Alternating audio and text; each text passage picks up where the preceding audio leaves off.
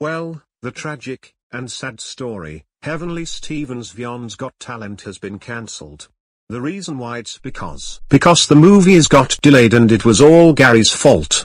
This is absolutely raging.